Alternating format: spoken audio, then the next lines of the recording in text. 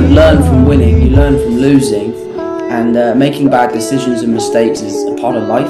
Um, the thing that separates people apart is whether you're able to learn from your mistakes and grow from your mistakes. But yeah, so of course I make mistakes, yeah.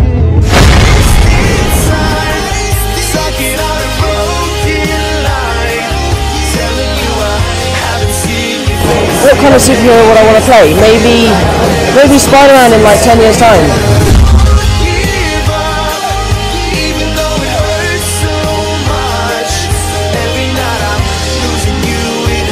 what kind of superhero would I want to play? Maybe, maybe Spider-Man in like 10 years time.